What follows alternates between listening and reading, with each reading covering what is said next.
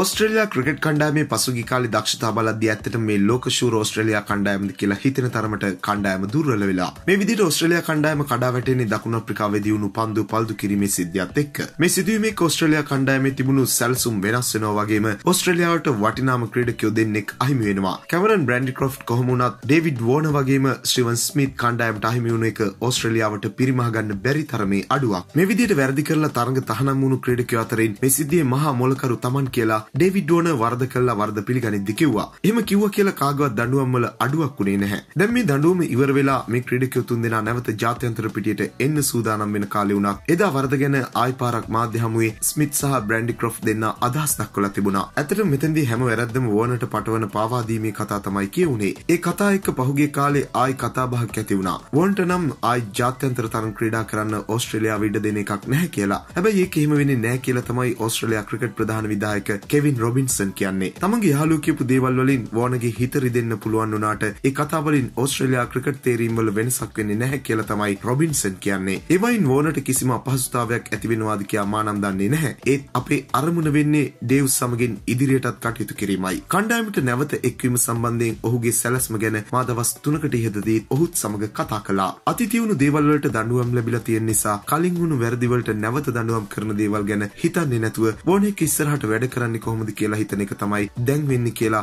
Australia cricket ප්‍රධාන විධායකයා කියන්නේ. මේ අපකීර්තිමත් උපාය නිර්මාතෘ තමන් බව වෝන පිළිගත්තා වගේම එහි වගකීමත් බාරගත්තා. ඒ නිසා අපි බලන්න ඕන ක්‍රීඩකයන් සමග ඉදිරියට යන ආකාරය ගැන මිසක් අතීතයේදී සිදු වූ දේවල් ගැන නෙවෙයි. මෙවැනි වීඩියෝ දිනපතා බලන්න අපත් සමග එකතු වන්න. ඔබ තවමත් අපේ channel එක subscribe කරලා නැත්නම් දැන්ම අපිව subscribe කරන්න. ක්‍රිකට් වලට කැමති ඔබේ යාළුවෙකුට බලන්න මේ වීඩියෝ එක share කරන්න අමතක කරන්න එපා. ක්‍රිකට් පිටියේ නැවුම් දෙස් අපිරේ තවත් අලුත් වීඩියෝවකින් හමු වනතුරු ක්‍රිකට් ලංකාවෙතෙන් ඔයාට සුබ දවසක්.